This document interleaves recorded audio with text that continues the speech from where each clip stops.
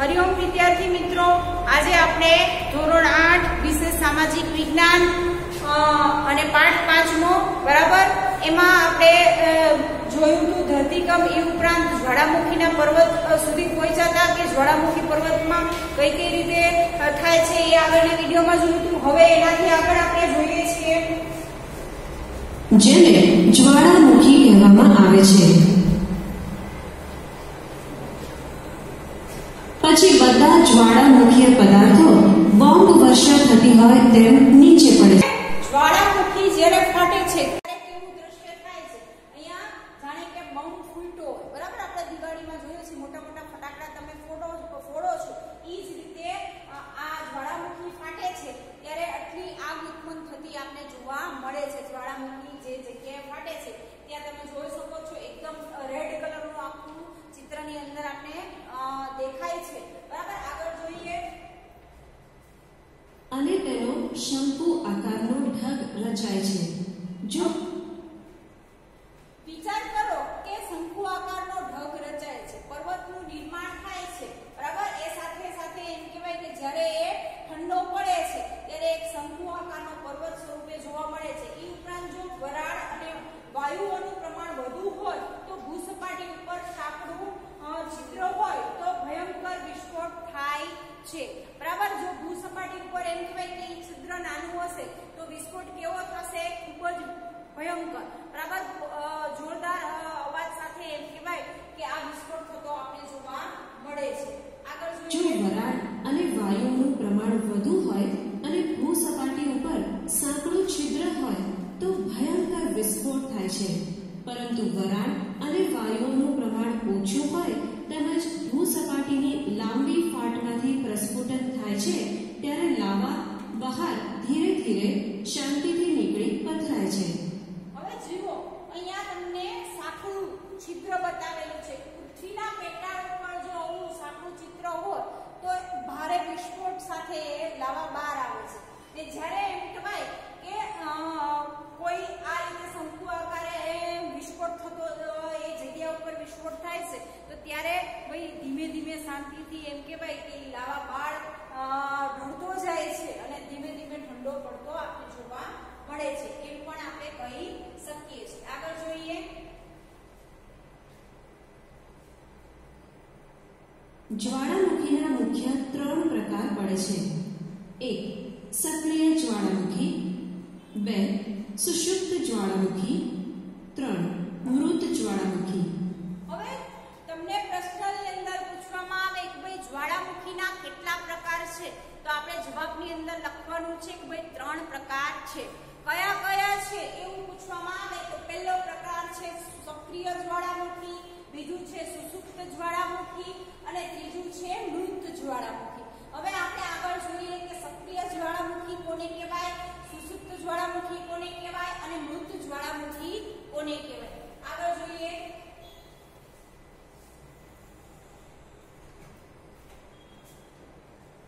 જે જ્વાળામુખી નિયમિત રીતે વિસ્ફોટિત થતા હોય તેવા જ્વાળામુખીને સક્રિય જ્વાળામુખી કહે છે હવે સક્રિય જ્વાળામુખી નું તમને શોર્ટમાં પૂછવામાં આવે એક બે વાક્યમાં ભાઈ સક્રિય જ્વાળામુખી એટલે શું તો આ બે લાઈન તમારે લખવાની રહેશે કે જે જ્વાળામુખી નિયમિત રીતે વિસ્ફોટ અ, વિસ્ફોટિત થતા હોય તેવા જ્વાળામુખીને આપણે સક્રિય જ્વાળામુખી કહીએ છીએ નિયમિત એટલે કે ભાઈ એ અ, એનો સમય નક્કી જ હોય કે આટલા સમયની અંદર આ વિસ્તારની અંદર નિયમિત વિસ્ફોટ થાય જ છે જ્વાળામુખીનો. એને આપણે સક્રિય જ્વાળામુખી તરીકે ઓળખીશું. આગળ જોઈએ એની વિશેષતાઓ. સક્રિય જ્વાળામુખીમાં લાવા અગ્નિ સ્વરૂપે વહે છે હવે સક્રિય જ્વાળામુખીમાં અ, કઈ ખાસિયત આપને આપી તો એ લાવા અગ્નિ સ્વરૂપે આપને જોવા મળે છે આ વસ્તુ ખાસ અ, નોંધતા જજો યાદ રાખજો હાલમાં દુનિયામાં લગભગ પાંચસો જેટલા સક્રિય જ્વાળામુખી છે અહીંયા આપણે દુનિયાનો નકશો આપેલો છે અને રેડ કલરના જેટલા ટપકા તમને નકશાની અંદર દેખાય છે બરાબર એ બધા શું છે સક્રિય જ્વાળામુખી એટલે કે જે સતત એ જગ્યા ઉપર બરાબર આ રેડ કલરના અહીંથી અહીંયા તમે જોઈ શકો છો બધી જ જગ્યા ઉપર બરાબર આ બધા જ જે ચિહ્નો છે એ બધા જ ચિહ્નો ઉપર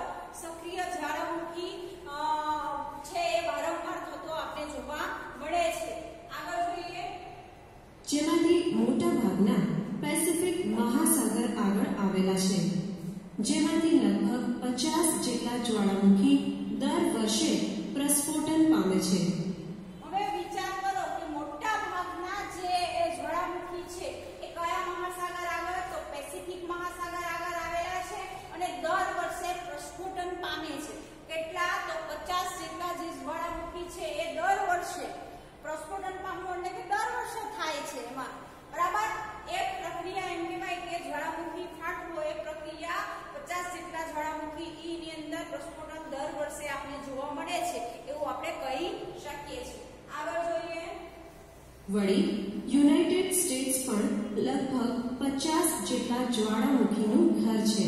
હવે યુનાઇટેડ સ્ટેટ, બરાબર? આ નામ તમે સાંભળેલું છે. એ સ્ટેટ પણ એમ કહેવાય કે 50 જ્વાળામુખીનું ઘર છે એવું આપણે કહી શકીએ છીએ. પ્રશ્નની અંદર તમને પૂછવામાં આવે કે ભાઈ 50 જ્વાળામુખીનું ઘર એટલે કયું શહેર કે કયો દેશ એવું પૂછવામાં આવે તો યુનાઇટેડ સ્ટેટ આપને યાદ રહેવું જોઈએ કયો દેશ પૂછવામાં આવે તો યુનાઇટેડ સ્ટેટ આપને યાદ રહેવું જોઈએ આગળ જોઈએ ત્યાં લગભગ પંદરસો કરતા વધુ સંભવિત સક્રિય જ્વાળામુખી છે હવે ત્યાં અ, જ્વાળામુખીની સંખ્યા કેટલી છે યુનાઇટેડ સ્ટેટની અંદર તો ભાઈ પંદરસો કરતા પણ વધુ જ્વાળામુખી આપણે ત્યાં જોવા મળે છે એવું આપણે કહી શકીએ છીએ આ વસ્તુ પણ જોડે જોડે ખાસ યાદ રાખજો વિદ્યાર્થી મિત્રો એક અંદાજ મુજબ લગભગ પાંચસો અબજ લોકો સક્રિય જ્વાળામુખીની બિલકુલ નજીકમાં જ રહે છે જે જ્વાળામુખી ઐતિહાસિક સમયથી, એટલે કે ઘણા લાંબા સમયથી વિસ્ફોટિત થયા ન હોય, તેવા જ્વાળામુખીને સુષુપ્ત જ્વાળામુખી કહે છે.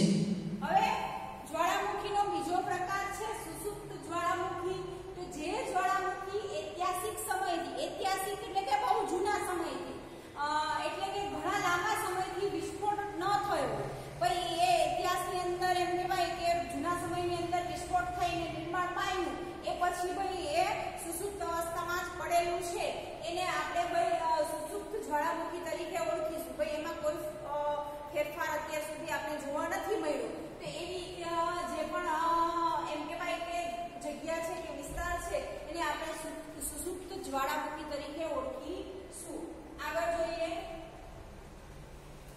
દાખલા તરીકે પેસિફિક મહાસાગરના હવાઈયન શિપ્રો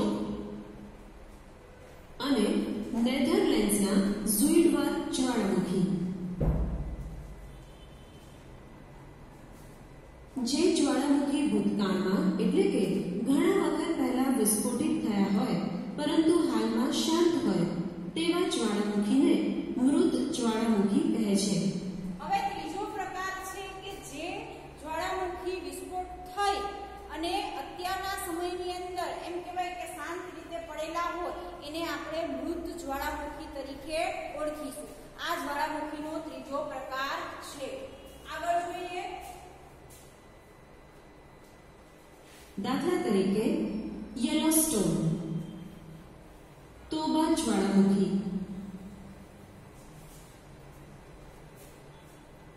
મૃત જ્વાળામુખીમાં લાવા ઠરેલો હોય છે, જે પર્વત, નદી કે તળાવ જેવા આકાર ધારણ કરે છે.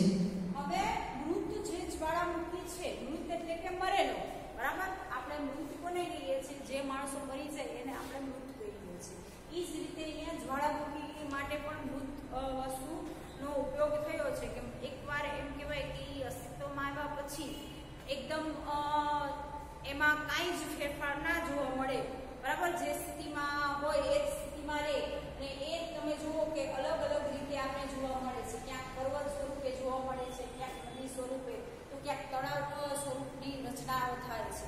બરાબર? મૃત જ્વાળામુખીની અંદર આ ત્રણ રીતે આપણે જોવા મળે છે. બરાબર? એક એવી ઘટના છે કુદરતી. બરાબર કુદરતી રીતે એમ કહેવાય કે તળાવનું નિર્માણ થઈ જાય નદીનું નિર્માણ થઈ જાય અથવા તો ભાઈ અ, પર્વતનું નિર્માણ પણ થઈ શકે છે જ્યાં જમીન ના હોય ત્યાં પર્વત થઈ જાય પર્વત ના હોય ત્યાં જમીન થઈ જાય નદી ના હોય ત્યાં નદીનું નિર્માણ થાય તળાવ ના હોય ત્યાં તળાવનું નિર્માણ થાય આ બધી ઘટનાઓ કોના લીધે અ, થાય છે તો ભાઈ જ્વાળામુખીના લીધે બરાબર એ અ, એવા આકારમાં આપણી સમક્ષ અ, એમ કહેવાય કે એ વસ્તુનું સર્જન કરીને આપે છે એવું આપણે કહી શકીએ છીએ બરાબર ને આગળ જોઈએ લાવા ઠરતા પહેલા નીચેની તરફ ફેલાઈ જાય તો નદી જેવો આકાર બને છે. જો ઠરીને ઢગલો થઈ જાય તો પર્વત જેવો આકાર બને છે. દાખલા તરીકે, ગુજરાતમાં આવેલા પર્વતો એ જ્વાળામુખીના પરિણામે છે હવે અહીંયા આપણે એક એક્ઝામ્પલ આપેલું છે આપણે ગુજરાત રાજ્યની અંદર રહીએ છીએ, તો ગુજરાત રાજ્યની અંદર જેટલા પર્વતમાળાઓ આવેલી છે, બરાબર? એ પર્વતમાળા કોને આભારી છે? આ જ્વાળામુખી પર્વતના લીધે આવેલી છે. ગુજરાતની અંદર તમે ગિરનારની પર્વતમાળા જોઈ લો, બરાબર? એ પર્વતમાળા પણ એમ કહેવાય કે આ જ્વાળામુખી પર્વતના જ પરિણામ છે, બરાબર? જ્વાળામુખી આપણે એમ કહેવાય કે ઇતિહાસની અંદર એ સમયે થયા હશે અને આવા પર્વતોનું નિર્માણ થયું હશે, એવું આપણે કહી શકીએ છીએ. આગળ જોઈએ અને ઘણીવાર પર્વત જેવા આકારમાં વચ્ચે જ્યાંથી વિસ્ફોટ થતો હોય, ત્યાં ખાડો પડી જાય અને ત્યાંથી પાણી નીકળતા ત્યાં તળાવ રચાય છે. હવે તમે જુઓ કે વિસ્ફોટ થાય અને મોટા એક ખાડાનું નિર્માણ થાય છે. અને ધીમે ધીમે એમ કહેવાય કે તળિયામાંથી પાણી નીકળતા ત્યાં આપણે તળાવનું સર્જન થાય છે. એવું પણ કહી શકીએ છીએ. એટલે કે મોટા તળાવનું નિર્માણ પણ આ રીતે થતું આપણે જોવા મળે છે, એવું આપણે કહી શકીએ છીએ. આગળ જોઈએ.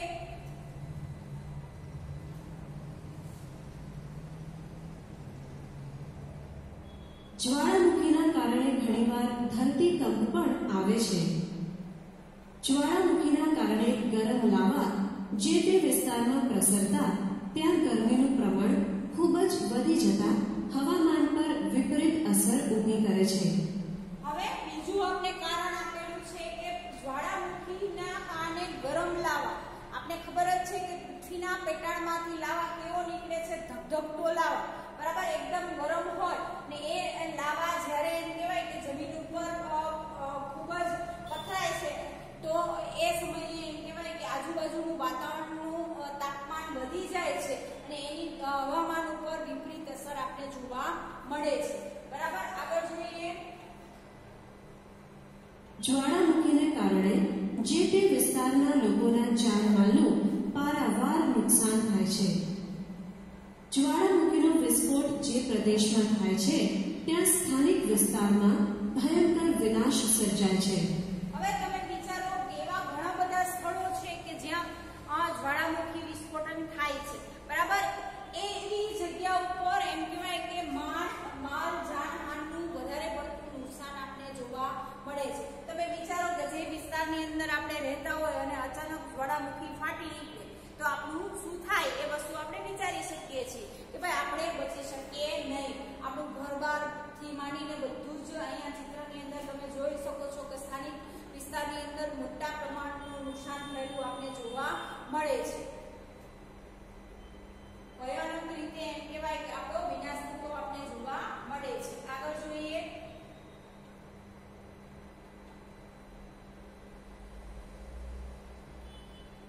વિશ્વમાં ઘણી જગ્યાએ વિવિધ જ્વાળામુખીઓ આવેલા છે. ભારતના અંદામાન અને નિકોબારના દ્વીપ સમૂહમાં માત્ર એક જ જગ્યાએ જ્વાળામુખી આવેલો છે હવે અહીંયા દુનિયાના મેપની ઈ સાથે સાથે તમને માહિતી આપેલી છે કે ભારતની અંદર અંડમાન નિકોબાર ટાપુ છે. એ ટાપુની અંદર એક જ જગ્યાએ જ્વાળામુખી આવેલો છે. અહીંયા આપણે નિશાની સાથે, સિમ્બોલ સાથે બતાવેલું છે ભારતથી અંડમાન નિકોબારનો જે ટાપુ છે. એ ટાપુમાં દ્વીપ સમૂહમાં એમ કહેવાય કે એક જગ્યાએ જ્વાળામુખી આવેલો છે. હવે એ જ્વાળામુખી તમે જુઓ તો વારંવાર વિસ્ફોટન થતું આપણે જોવા મળે છે. બરાબર? લાલ સિમ્બોલ વાળું મેં તમને પહેલા જ મેપની અંદર દર્શાવેલું છે. એ વિસ્તારોની અંદર એમ કહેવાય કે વારંવાર જ્વાળામુખી આપણે જોવા મળે છે.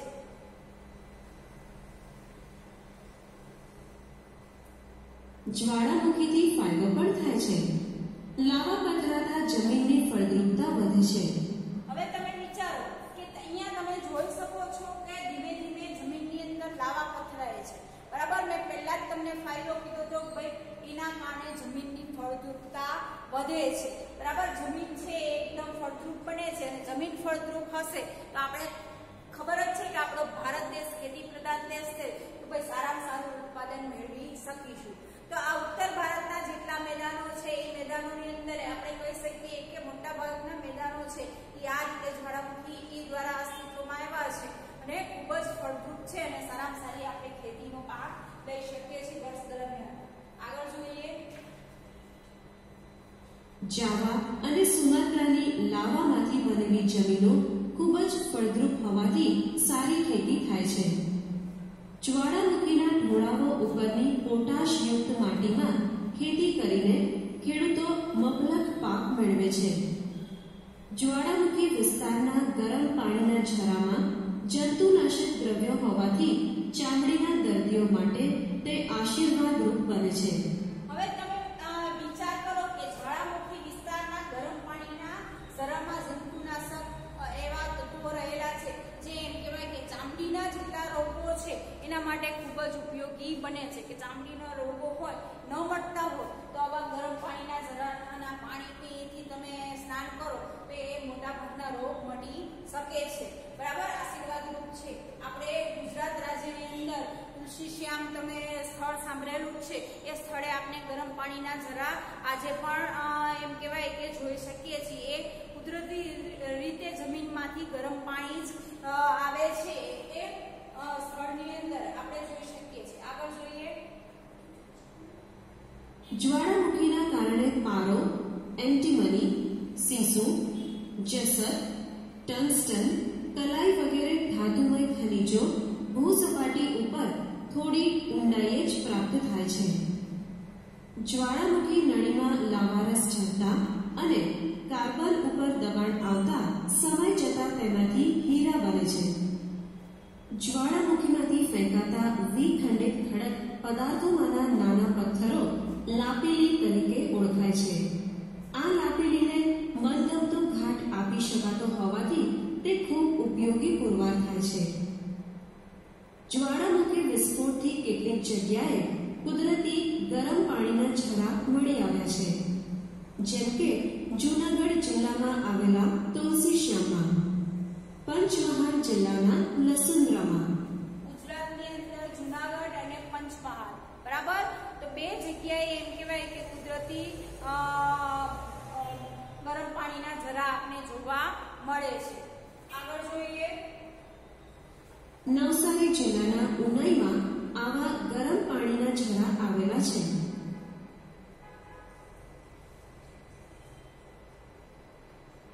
સુનામી. સમુદ્રના તળિયે આવેલા જ્વાળામુખીઓ ફાટવાથી કે તળિયે ભૂકંપ થવાથી સમુદ્રની સપાટી પર ખૂબ શક્તિશાળી વિનાશક મોજા ઉત્પન્ન થાય છે. આ મોજાને સુનામી કહે છે હવે સુનામી કોને કહે છે એવું પૂછવામાં આવે તો આ બે લાઈન આપણે લખીશું કે સમુદ્રના તળિયે આવેલા જ્વાળામુખી ઇનામ ફાટવાથી કે તળિયે ભૂકંપ થવાથી સુ- સમુદ્ર સપાટી ખૂબ જ શક્તિશાળી વિનાશક મોજા ઉત્પન્ન થાય છે આ મોજાને આપણે સુનામી કહીશું અહીંયા આપણે સુનામીનું ચિત્ર પણ આપ્યું છે આગળ જોઈએ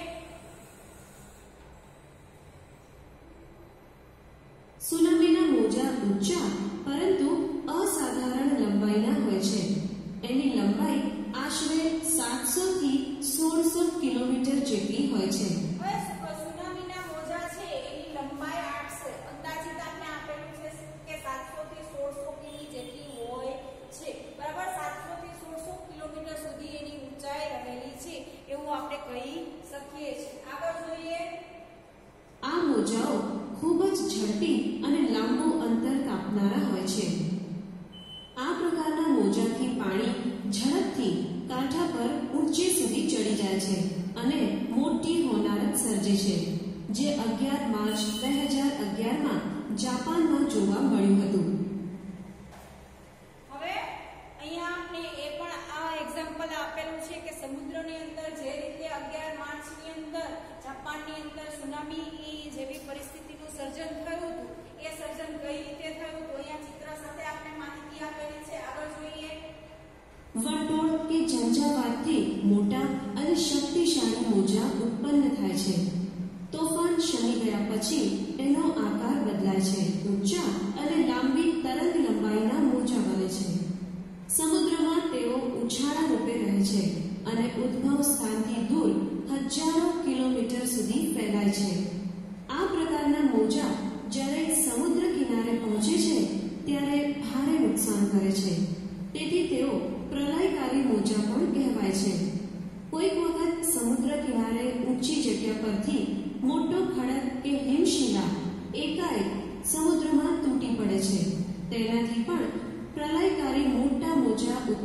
છે.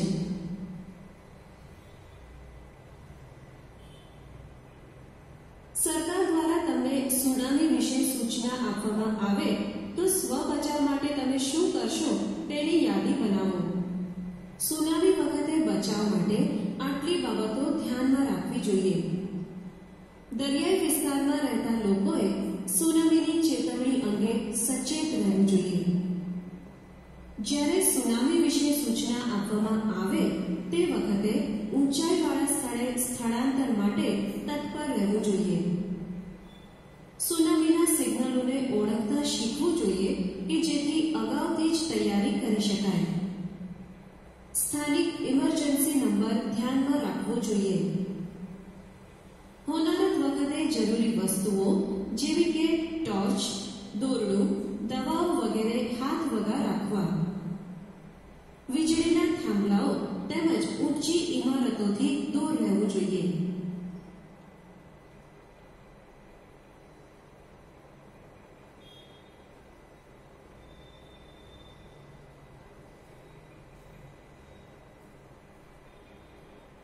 અનાવૃષ્ટિ આ